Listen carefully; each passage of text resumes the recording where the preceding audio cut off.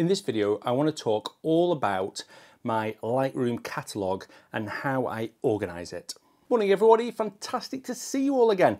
And I say every time, don't know, on YouTube, fantastic to see you all again. Well, I did actually see you all, well, some of you anyway, um, who came to my exhibition. And I have to say, it was a pretty spectacular experience. Um, I don't know how many people came in total, but maybe five, 600 people, something like that. It was just amazing. For the three and a half days, I didn't stop chatting to people, and it was just incredible to turn YouTube numbers, because I just see likes and I see a few comments which are really nice, into faces. And I just wanted to start this video before I get into my Lightroom catalog of just saying that, that, you know, we all go on Instagram, um, we get worried about whether we get 10 or 20 likes or 30 or 100 or 100 or 1,000, but every single one of those is a real person. Well, hopefully they are, hopefully not bots, but they are, they're, they're real people. And um, just to see that and to see those people and the impact that I've had on people's photography was just I was really humbled to be honest. I just felt like it was an out of body experience. It just didn't feel real. So it was so so nice. Um, and I just want to say thanks to everybody watching now and everyone that's watched my channel in the past. It really means a lot to me. Okay, on to Lightroom. So in this video, I want to chat about my Lightroom catalog. So not about um, my um, editing, but how I sort of structure my Lightroom catalog. I actually got quite a lot of questions about this in the exhibition and people were saying, how do you choose your photos for the exhibition? How do you structure it, etc. And I thought it'd make a really good video. The first thing to say is I've been doing this since 2002 um, and I've amassed around about sort of 275,000 photos in here, which is quite a lot of photos. I've got one catalogue um, for, of Lightroom, and the only time I have a different catalogue is when I go away. And I did a video here about how I merge those catalogues together um, and my sort of travel process. It's not going to be like that. This is just my main catalogue and how I structure that. So if you want to know how I merge my travel Lightroom catalogue with this catalogue, watch this video. Okay, so I'm, the first thing I'm going to do is go into the basics. Um, I would say that um, the, the, photos and the videos, mainly the videos that I take, are so much now that I've also got to um, add more to my NAS drive. So I've got another Synology NAS and I've got these um, IronWolf 20 terabyte hard drives. Um, and I'm going to talk more about that later in the video. This video is sponsored by Seagate, so I want to say thanks to Seagate for doing that. So I structure it first of all by year. So I have folders on my NAS that are all the years. So 2002, 2003, 2004, and then in those years, all ever since the beginning, I then put it into quarters. So Q1, Q2, Q3, Q4. So for instance, if I go to this year, I can see that I've got Q1, Q2, Q3, and then I've in the year I've got the project that I was doing or the, the trip that I went on. And if it's a bigger trip, so for instance, when I went to Luskentyre, and that was Harris here, then I split it into days. I only do that for really big trips though. I don't do it for everything. If I go on just a two day trip, then I might not do that. So once I've done that, I then um, get all my images into Lightroom, import them all in. So if we go and look at Q3, we can see that I went to Arran. I can go and have a look at that Arran project and I can see all my photos. In here, in Arran, you can see that I've got all my images and the first thing I do is usually stack them so you can see that they're stacked one of three and the easy way to do that is just go to photo, stack in and you can click auto stack by capture time and then what that does is it allows you to stack the images that were HDR images. So it just makes it easier. And then when I've done that, I usually expand them all, but I still can see which images are part of that HDR group, which makes it really easy. And then um, I go through all my images and I choose the, the best ones basically. The way I do that is just by put, doing a pick. So P for pick and key shortcuts are a really useful thing to learn. And I'll do, what I'll do is I'll put the shortcuts up as I use them. So P for pick, um, and then when I've found all the picks, I know that all those photos are the photos that I think are decent. You know, they might might be worth looking at in a bit more detail and potentially doing an edit on, but not all my pics get edited. Um, now, if I'm away, then I do that at the end of each day so that when I get back from a trip, then I've at least gone through that day's photos and done a, a brief first pass through and picked them. And then when I merge that library back into my main library when I come back, then that really helps.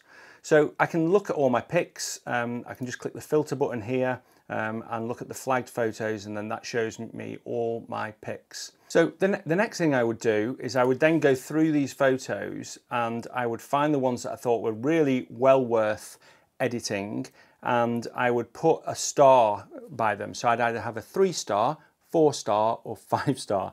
Three star are for photos that um, I think should be edited, but I'm not 100% sure about whether it's going to end up in my portfolio or, or even in a YouTube video. Four star, I think I'm really excited about. Five star, I think this is a really good good image. It definitely needs editing, and it's probably now I, I, I do up and downgrade my images later in the time. It's not like the final um, set of gradings that I give to that image, but you know that allows me then when I go to say my Arran things to say, okay, show me all the five stars, and I know that these are all what I thought at the time were my best photos and are edited. So yeah, that's like a really basic level of just going through my photos and choosing which are the best ones. So then it comes down to catalogs and catalogs for me are a huge part of how I catalog my images because obviously I've got this which is like a date thing. So if I think oh I'm sure I took it on that trip I can go back and say when was it? Q1 2002 um, and I can go and find that that photo. But the the real good thing for me is using catalogs, especially for YouTube, but for any projects that I do. So I use smart catalogs and I also use just catalogs that I make based on groupings of images that I think make a collection, like a woodland images or something like that. I'll give you some examples. So the first thing I do is I have a automatic three, four, five star um, smart collection. So to do this, you click this plus icon here and you say create smart collection. And then I can then say, go and look at all my images um, and um, I want to say the rating is greater than three stars. And that then goes and creates that smart collection. I can give it a name. But you can do this for all sorts of things. I could have a smart collection that was all the photos taken with a particular lens or all the photos that have got a, color um, code. You can do it for so many different things. So smart collections are really, really good. Um, so the portfolio prints one, for instance, is all photos that are coloured purple because anything that's coloured purple I put into my portfolio prints and you can see that these are all the purple ones and I can go and the reason I want to get to these quickly is that these are the ones that um, I print a lot you know if somebody orders a print then I want to be able to get to them really quickly. The one thing to remember here, and we're going to get onto this in a minute, is that smart collections can't sync with Lightroom in the cloud. Um, and I'm going to get onto talking about Lightroom in the cloud. I'm going to show my iPad and, and how I use that. But smart collections don't do that. Um, so you've got to have other collections for that. So what I do is I create a collection called Best Star Photos, this one here. And that one you can see there's a little sync button next to it. And I've said on that one, sync to the cloud. So if you just look at the setting on this, you can see that I can sync with Lightroom there. Um, and um, if I want to, I can make it a, a, public collection as well, which is actually sometimes quite useful. Um, and then the other thing I do is create collections of images like for instance um, my exhibition I created an exhibition Luskentyre and that was a collection of images that I thought would be potentially in my ex exhibition. And you can just drag and drop images into these collections and a photo can be a member of many collections as well. So here I just put all these 34 photos in all from my book um, and then I went through and then I used color coding again. So all the blue ones ended up being ones that were in my exhibition and these are the ones that, that I, I then printed out um, for my exhibition. And I do this for all sorts of things. So for instance, I've got another um, collection down here called YouTube and that's got um, any YouTube editing videos that I've done where I've talked about maybe color or balance and you know I can just chuck them into those collections it's really useful a really good idea is doing one for countries. So for instance, I've got one here for countries and I can see all my different countries here. And I've got one for England. I just need to get rid of the five stars there. So this is all my photos um, that I've taken in, in England. Now this country's one is work in progress. I asked my son to set this up for me and he went through um, all my best star photos and tried to guess where they were. Um, he did a pretty good job of it, but I'm still finding some um, Scotland photos in the Faroes or the I Iceland. Um, it was quite tricky. So this is a thing that's a work in progress. The reason I do this is that sometimes it's good to be able to post something on Instagram of some photos from England or Scotland and I just want to be able to go and find my best photos from those particular countries. You can do it so many different ways. You could color code the countries or you could just use um, keywords as well, but I don't tend to use keywords huge amount. Um, I did for my Luskentyre project for the areas of the beach, but not, not a huge amount. And um, then let's look, look at syncing. So I'll just grab my iPad and we'll just look at syncing the photos and, and you know why I think that's useful. Okay, right, got it. Um, so this um, is Lightroom um, on my iPad. And basically, whenever there's a little little double arrow here, that syncs and I get um, a version of that on my iPad. What's really good about that is I can go through and I can catalog them on my iPad. So if I want to, I can go to my three, my best star images. Um, so here are my best star images, and these are all images that got three, four, or five stars and I can go through and if I want to I can go and edit some of those or I can go and download them if I'm away I can post some things on Instagram or Facebook um, or um, if I want I can go through and catalog them a little bit better by maybe downgrading them from three from five to three stars it just it just is so useful to be able to have a sync of the photos um, in those catalogs onto my iPad. It works fantastically well. Um, I use it all the time. And if you don't do that, I definitely, definitely recommend that you give it a go. So the other thing, um, I talked about keys being useful. G is a fantastically useful key.